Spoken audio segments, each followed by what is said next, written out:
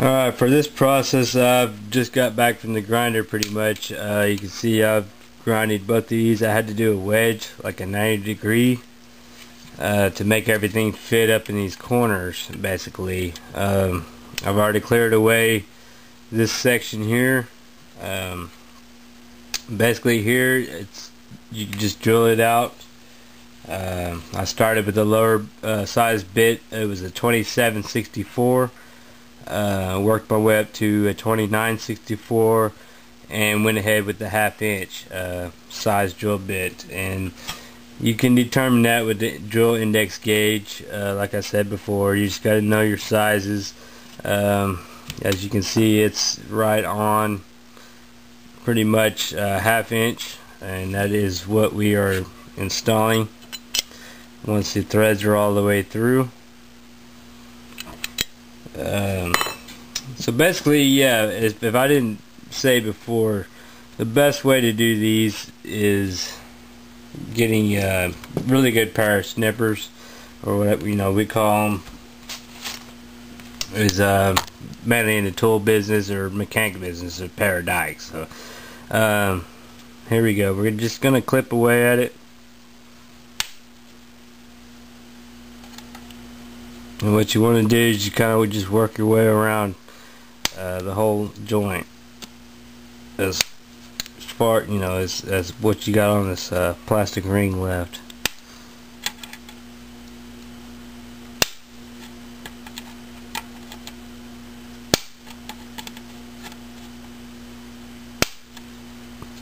Okay, you kind of work your way around it. Uh, you can kind of see uh, most of these will break away. You just take them. Uh, you take the same, you know, just kind of work your way with the uh, pair dikes or your snippers or however y'all want to say it. And just kind of work the circle. Uh, you want to be as flush as you can. Uh, you're trying to make a perfect circle as you're doing it. Um, it also works I mean you can you know if you're experienced with tools and mods you can heat this plastic with a you know a small torch even and it makes it more malleable where you can actually work the plastic. Um, for you guys I'm just doing it cold. Uh, it's probably the best way. You just want to clip these away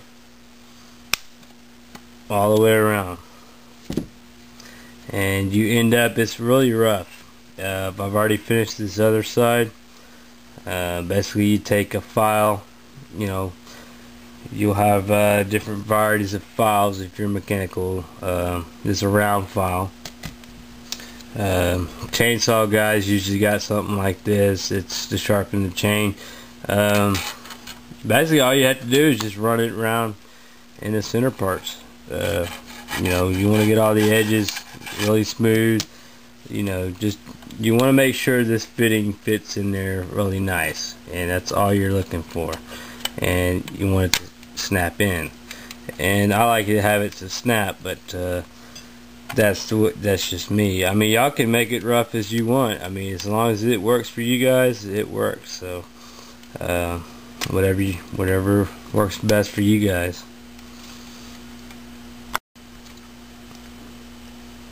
Alright, got most of that all trimmed away right here. Uh, you can see there's still more intruding out. Um, pretty much, yeah, the best way you're going to do it is going to be the uh, good old bastard file or rasp file. And uh, I suggest doing it on your lap, you know, whatever's proper for you is comfortable. Um, but basically, just you want to file this down flat and that's all you got to do um, just like I did on this this side here uh, you want to get it as even and as flat as you can um, just file it down uh, just makes it look better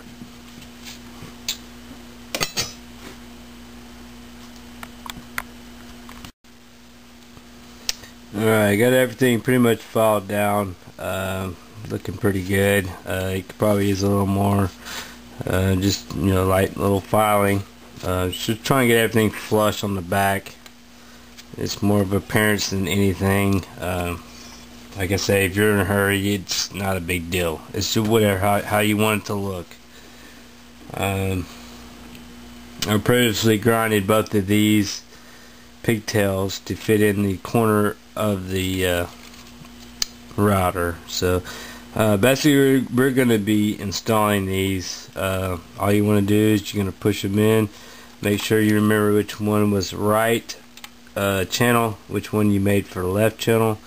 They're going to be grinded different because you got to grind uh, the the bottom side and and the exact side which is going to plug in. It's just an oversized plug, so it uh, snapped into place.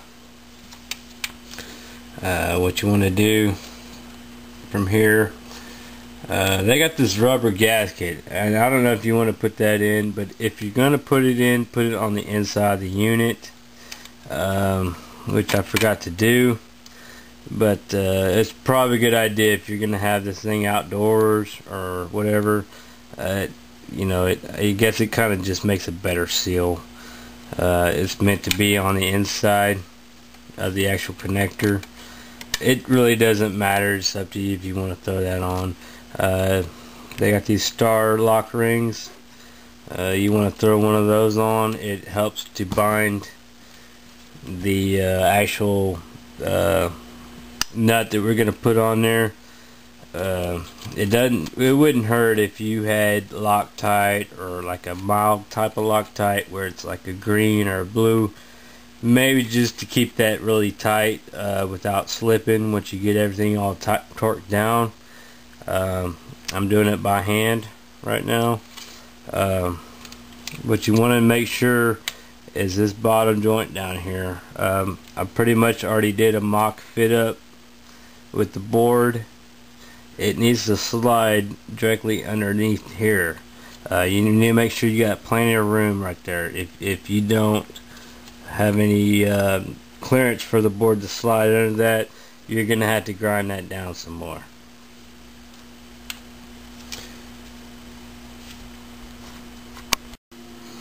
Okay, here I'm having an issue with the left channel. It's not going to clear this capacitor right here. Evidently, we have no room for this plug-in. Uh, the right side's already installed. I'm trying to install the left side here. It's just not going to clear. Um, unfortunately, what I had to do is I had to pretty much chop the end of this thing off.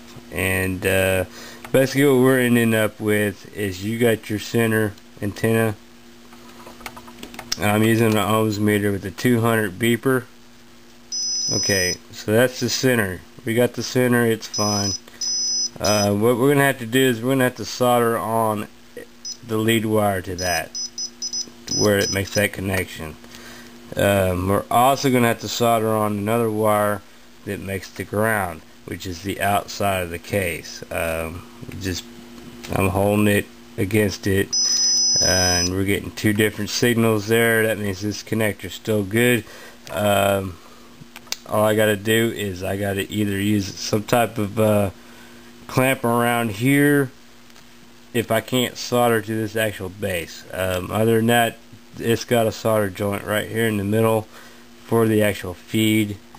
Um, excuse me right there for the signal and um, basically I'll be sliding this is going to go in between this capacitor it is right in the way so there's no way for that lead to work at all um, without modifying this actual whole unit and that's the surprises you get as you modify something uh, you never know uh, what you're going to run into and you just got to keep going and uh, rethink it and persevere.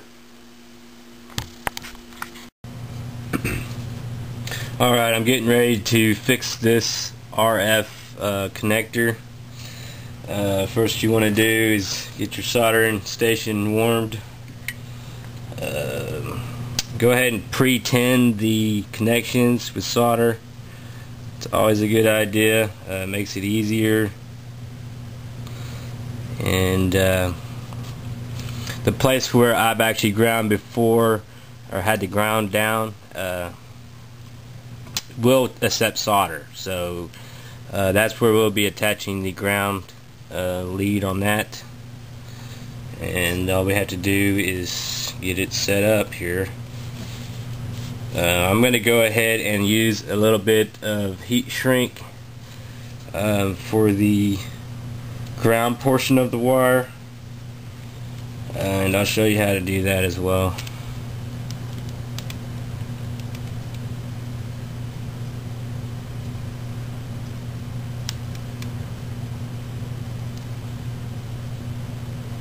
Alright.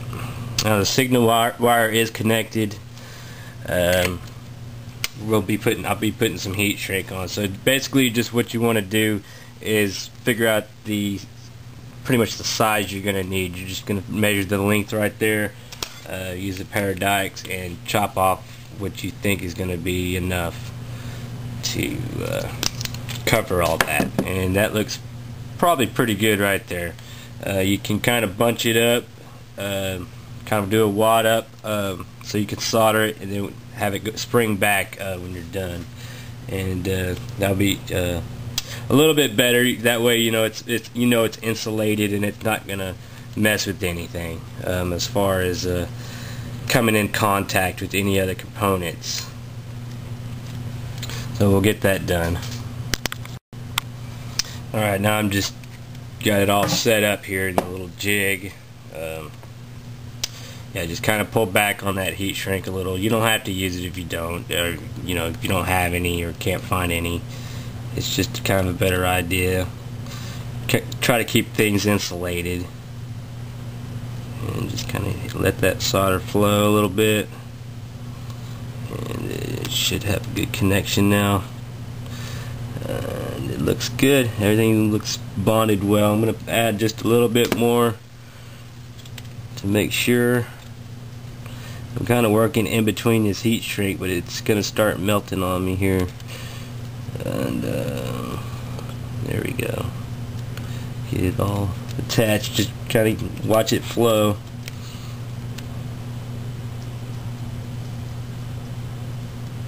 And uh, be careful because the wire will get warm. Um, it's just up to you on your tip of your fingers you know what they can withstand. But uh, it will definitely get warm so you want to do it as quick as you know possible pretty much. And uh, yeah everything looks bonded well so uh, next step I would uh, run an ohms check just to make sure uh, all the leads and everything are, are working proper. And I'll do that here in this next little bit. Alright, for this next part, I'm going to be running an ohms check. I got it on uh, just to make sure all the uh, connections are uh, good and bonded well. Um, that and see if there's any interference. I got it on uh, 200 with a beeper. And you go ahead and check your ground.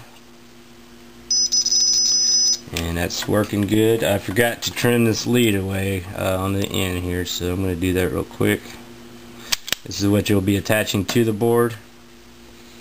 Uh, go ahead and check that.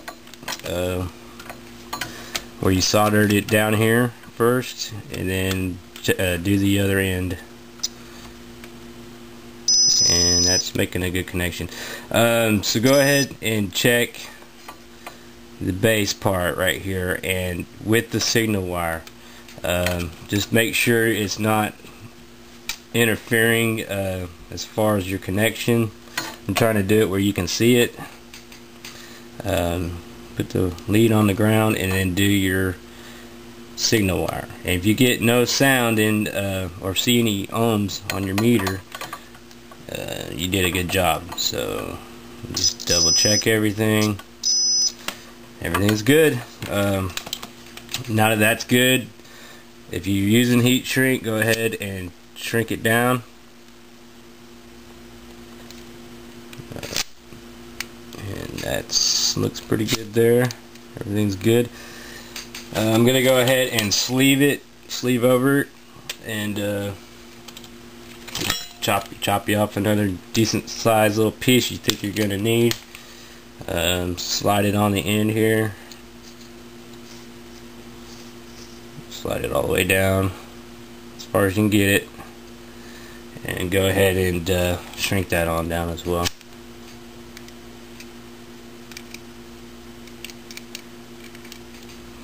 Alright, there's my new modified lead and that's going to work just fine. Um, I had to do it on the side where it's going to fit up in here but uh, I have plenty of clearance when it goes in there so everything looks really good. Uh, next all you want to do is you want to pre-tin these uh, once more and then once you do that you're going to be soldering it back onto the board and uh, we'll do that next step so we're almost finished.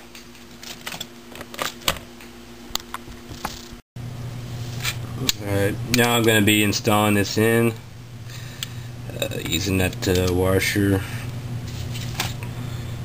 Just go ahead and put it on in there. Everything looks pretty good. Once again, use a star washer. It came with the kit. Go ahead and put your nut on there. Spin her on in, tighten her down. That's all you got to do there. Uh, just make sure that you're clearing everything and it looks really good so it's gonna work just fine. Okay got that installed um, tightened down really good. Um, just make sure everything's pretty even. Um, this board is actually going to sit right on here. There's not really a clearance issue anymore on the bottom. Uh, all you want to do is just slide your board back into place uh, watch out for these back connections. All you got to do is kind of line them everything up. And it kind of snaps into place. And just make sure everything's lining up really good. Um, it looks like everything's clearing just fine so I'm not worried about it. Um, it's up to you how far you want to go. Um, right here we're just going to retin these that way we're getting ready to actually solder it to the board in place. So you just want to do that. Go ahead and do each uh, end right here.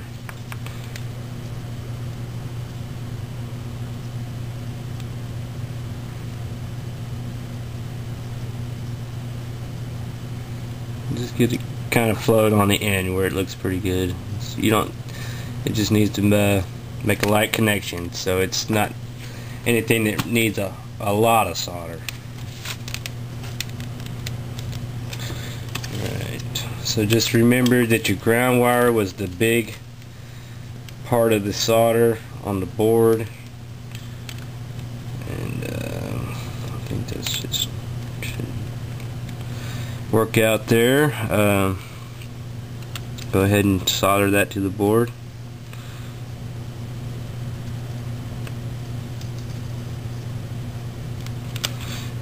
then do your signal wire next.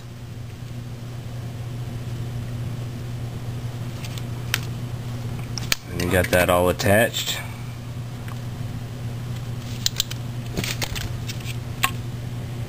And there you have it. Pretty much you just want to have your leads. You're gonna have to mess with kind of knock these down or just bend it over slightly uh, I probably would run it back through here just like that. Um, everything's fine. I left a, a, little bit extra wire. Um, it's not a big deal. Just kind of coil it up the best you can on the board. Uh, you can use some uh, clear tape or something like that. I'd probably prefer clear tape. Um, they actually had a piece in here to hold the wires down previously.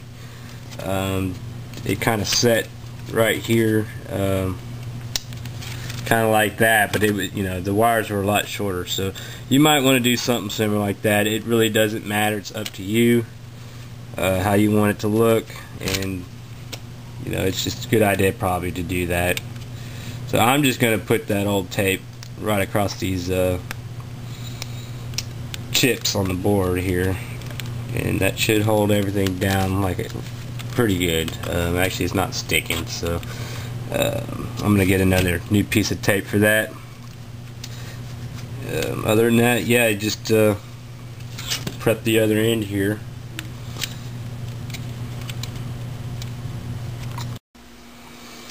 Alright, I went ahead and taped it uh, up in here, just kind of looped it like that.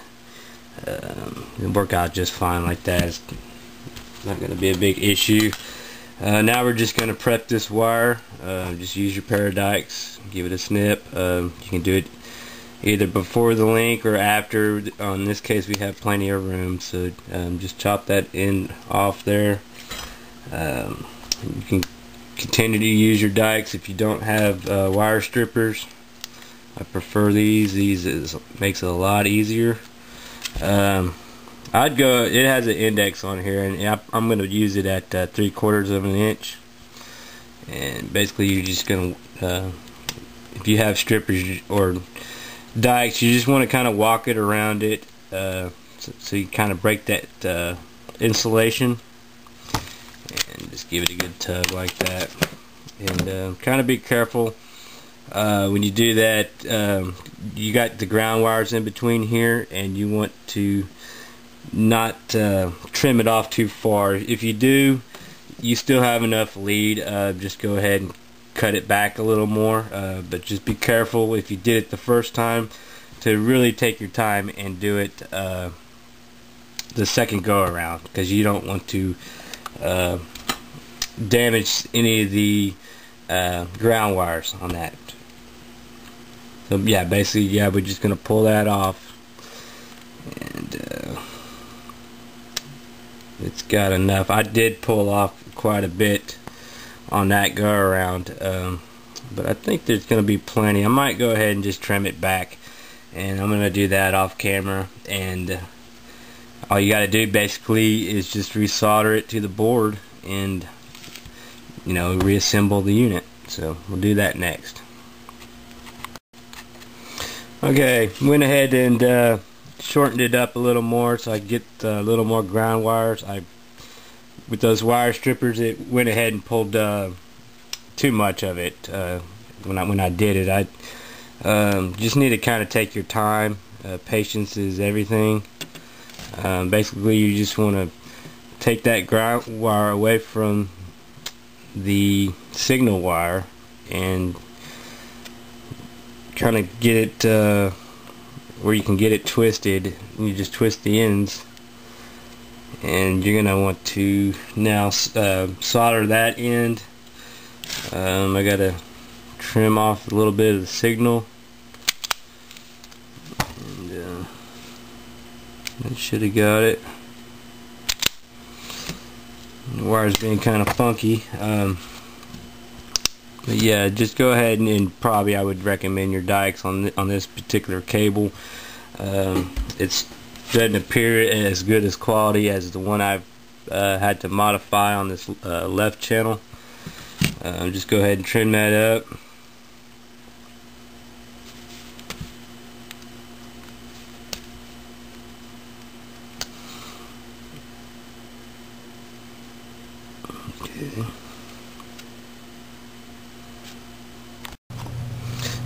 Alright, I got that retrimmed. Uh, we're going to go ahead and tin it with some solder. Go ahead and just repeat kind of what you did on the other side.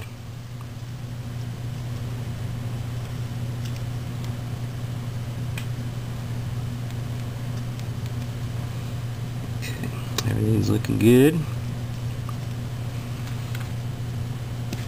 Um, now you probably want to clean your tip we're going to be soldering it to the board. Uh, I've already applied solder to the board. Uh, you may need it, you may not.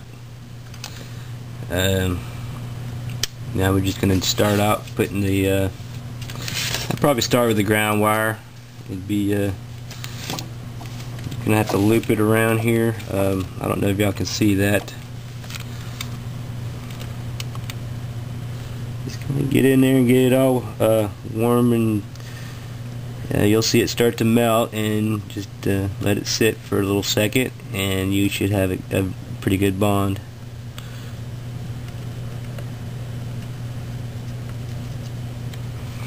Alright, now the ground wire's in place.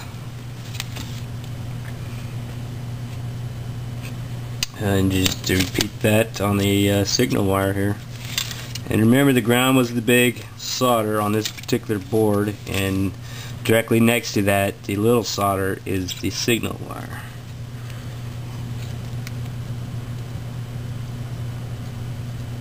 Okay, and it only takes just a split second, really, to get it uh, soldered on there proper. I know it's kind of out of focus for you guys. I'm actually using a Canon PowerShot camera camera for this. Uh, I apologize, but this is pretty much the only thing I got. So,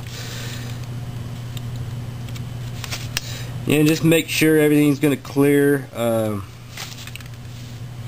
everything's, you know, you just want everything when the case sits down and everything's gonna fit right. And uh, after that, it's just reassembly. Um, the way you took it apart and I'll go ahead and do that uh, you know that way uh, if you kind of missed the beginning or you just you know just kind of forgot how to do it. I'm just gonna go ahead and do it for you guys. Alright I had to come back and lower my ground wire. Uh, just unsoldered it and resoldered it. So it kind of comes in more at an angle. Uh, it was kind of sticking up straight. So basically you just want to make sure that when it sits on the board that the rest of the case that goes around it it's not going to interfere with anything. Um, I'd probably recommend go ahead and get your ohms meter back out uh, if you have one. Uh, it's just to double check things. Um, I'm going to start with the signal wire here and we'll put that on and check the connection on the inside here. And that sounds good. Um, do the same with the ground uh, to the case. Everything's checking and this is another like kind of a ground shield so you, you definitely know you got a good connection uh, with the ground. Um, go ahead and check between crossing. Uh, you want to go ahead and put the lead on the, back on the signal wire and touch it to the ground and you shouldn't hear anything. And uh, do that with both sides. Just to you know go ahead and double check things. Uh, just make sure that nothing's touching and you got a good connection. Um, I'd go ahead and probably go back with some uh, tape a little bit of tape. You don't have to do this. Uh, factory kind of likes to keep their uh, wires and things out of, out of certain areas. Uh, you can go ahead and just reapply some tape there um, kind of hold things down. The factory actually had some here uh, went across here earlier so uh, just up to you if you want to do that or not.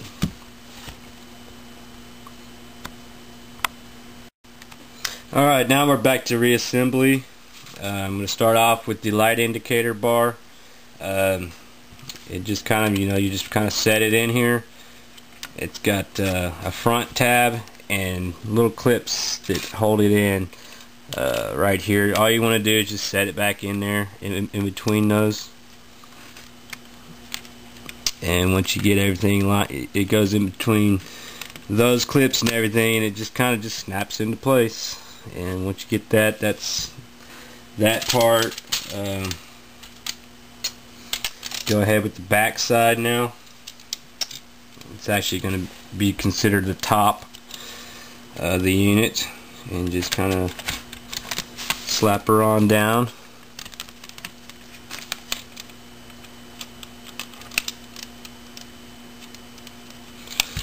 alright I this uh, wire right here is kind of in the way. I'm just going to slightly move it over just a little bit and it's trying to hang up on on the end here. Um, you can start with this end first and it should everything should just pop straight together uh, once you get everything. And that's back together uh, now you just want to put your Torx back in And we'll do that. I think somebody ran off with my gun.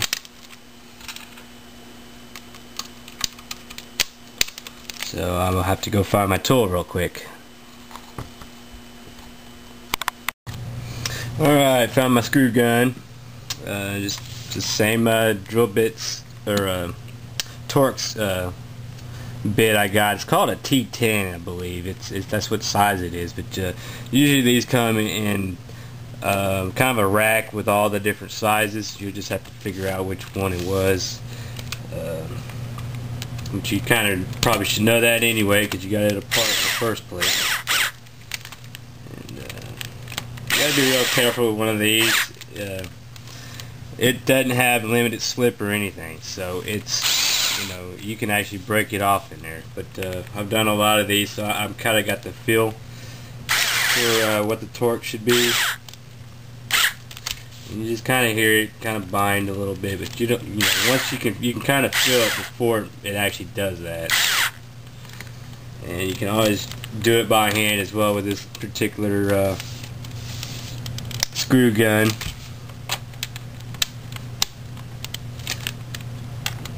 It actually has a, a lock mode. Alright. Got those all back in place. Everything's real flush. Uh, just make sure that all around your connections and fittings that everything, you know, is looks the way it was pretty much when you took it apart. Uh, that way when you put these side pieces on, uh, they should have no problem just snapping straight back in where they were. And it just kind of uh, fits straight in there. You kind of walk it down. You'll hear it snap as you go. Repeat that on the other side. And just kind of use your palm. You may think you got it in there, but uh, as you walk down, you'll realize that it's actually going into place all the way. Um, so that's the side. All you got to do is the same with the front.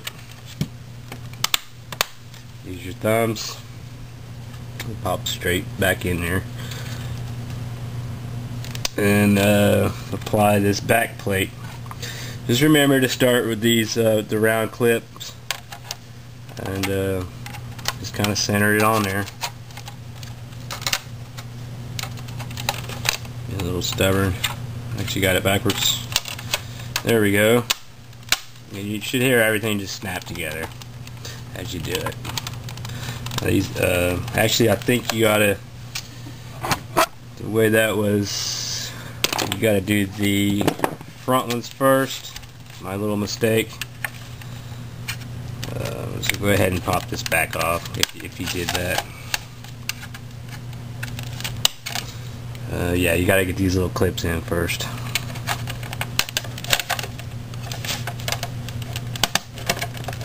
And of course, it's being stubborn. There it goes. And that's it. Uh, router's all back together. Uh, now these new ends, uh, we got external antenna. Basically, we'll be screwing to this por portion. Um, for the rest, you know, we got the old school Linksys screw-in antenna. And uh, basically, we're going to be putting that on, on the uh, left channel here uh, for, for part being in, in the house, I guess. And uh, this other lead is why we, we, had to do this modification is so we could screw the uh, outdoors antenna to it. And uh, I hope uh, you get a lot of good information out of this and um, you know it goes well for you as it went for me.